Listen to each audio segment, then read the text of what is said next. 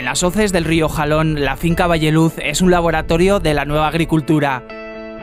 120 hectáreas de cerezas, albaricoques, nectarinas y paraguayos que se están gestionando de forma sostenible.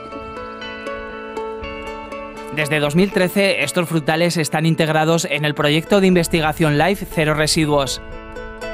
Un programa experimental y demostrativo en el que Adriano y Jesús han logrado evitar la aplicación de fitosanitarios químicos en el control de las plagas.